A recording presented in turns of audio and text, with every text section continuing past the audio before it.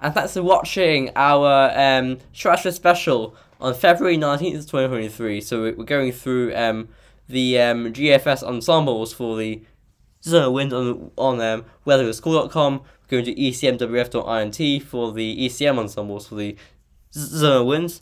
Um, we're using the CFS at, at um, meteociel.fr um, to see if that's playing with the idea of, um, you know, having something cold in March or April as a result of the warming. And finally, we're doing the GFS, same website, um, and um, using it to forecast the um, temperatures at an HPA.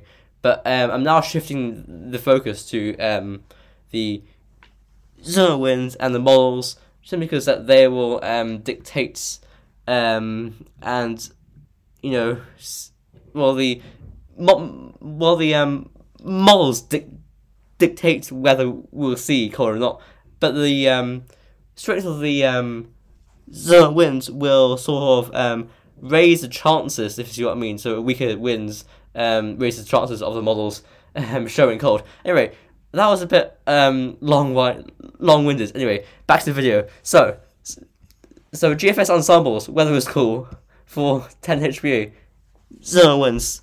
Um, let's zoom in a bit more. You can see, um, I'll just go through it very quickly again. Blue lines, the blue line is where we have been with the wind over the season so far. So, um, about average through to October and November, going a bit, um, arrive sort of a bit off average from time to time through December. In January, we go above average, then we drop it at the end of January from minor warming, raise it again into February. Now we're dropping it into reversal, and right now we're on the way up out of um, reversal.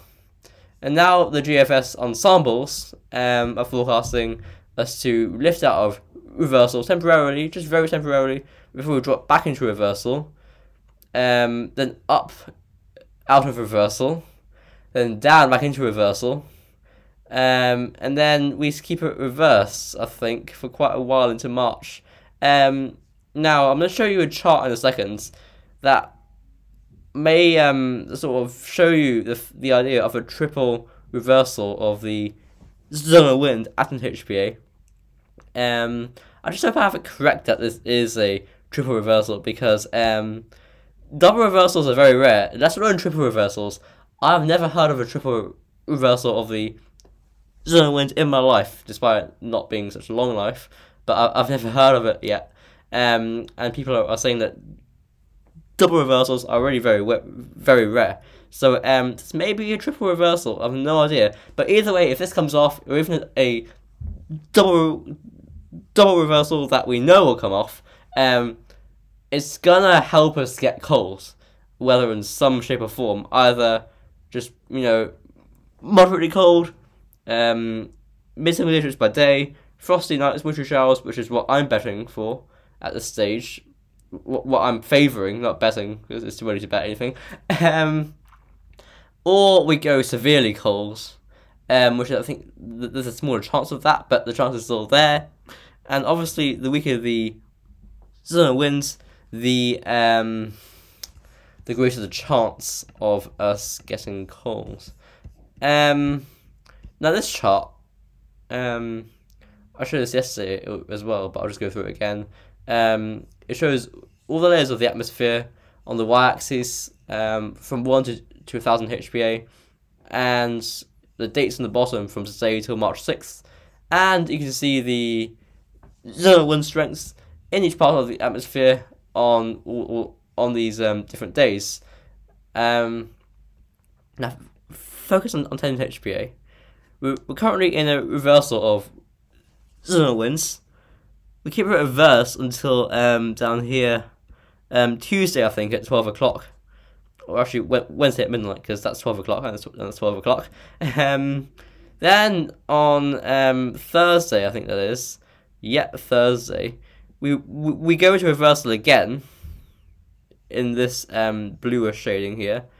Then we nearly, we nearly um, unreverse the the winds on um, Sunday at midnight. And we, we go into a strong reversal again into um, early March and late February. So this may well be a triple reversal of these of the zonal winds. I think it's very rare for this to happen, but it's only co- coming up on today's runs, so it may just be um, a once-off glitch of the models. I'm not sure, but it's quite strange and exciting that it's coming up today.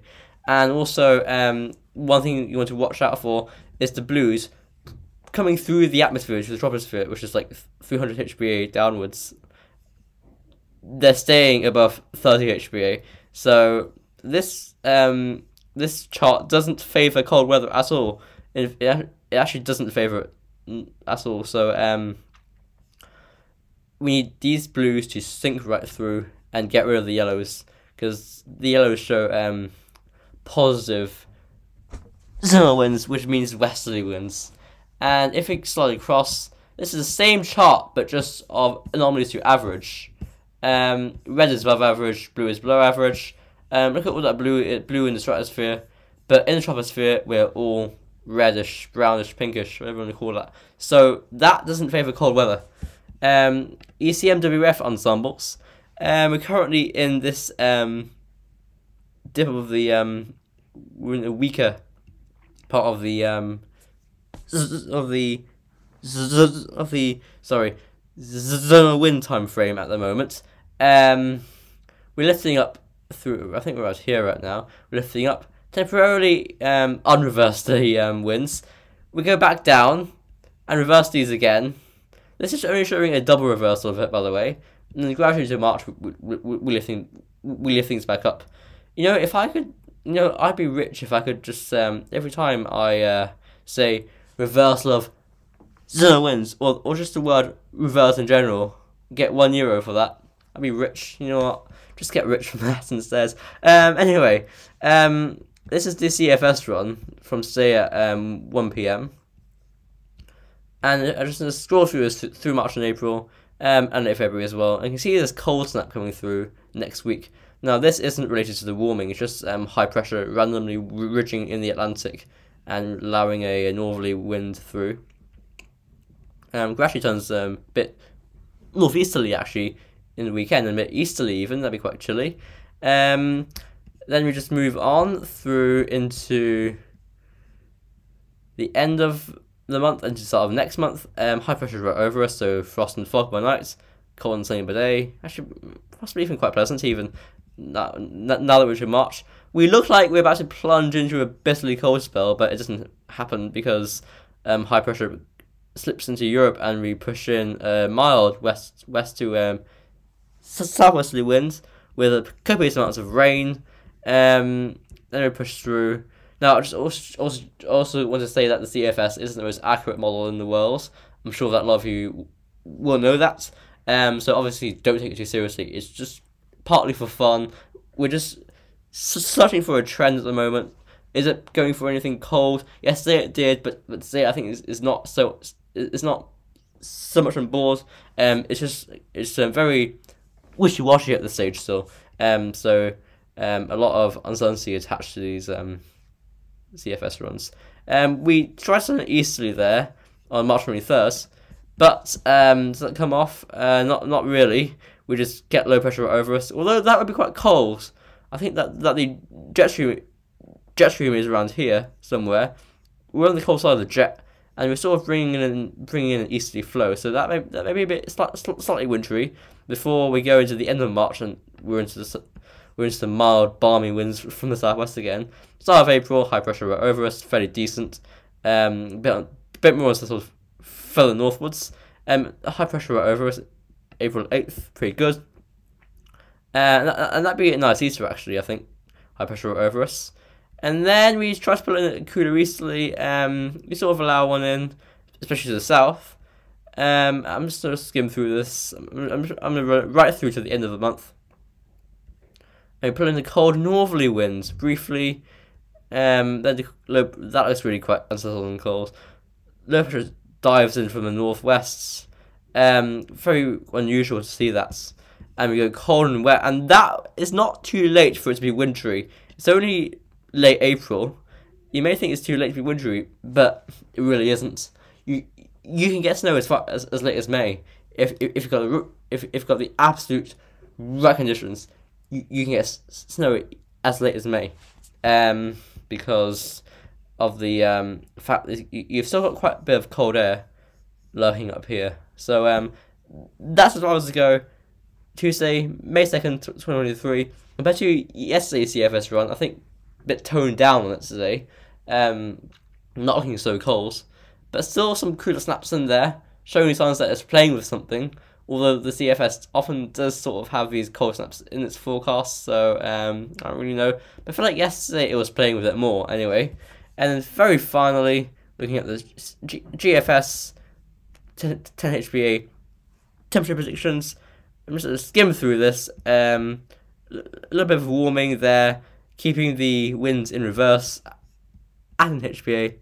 Um, I would, not much change as we head into um, March. Pretty much the same sort of theme with PV displaced and weakened over Canada, Atlantic, and Europe, and warmings over Siberia, minor ones, just keeping the PV displaced. Um, so we're in a very interesting time of the uh, weather. I was, I was going to say year, but yeah, it's still a very interesting interesting time of year. Um, um, so yeah, hope you enjoyed the video, and I'll be back la- later on with our usual um, you know update going through the models, and we'll see what they're showing for um, for the cold spell next week, what they're up to, that sort of stuff. So I'll see you then. Before before now, enjoy enjoy your evening, and bye for now.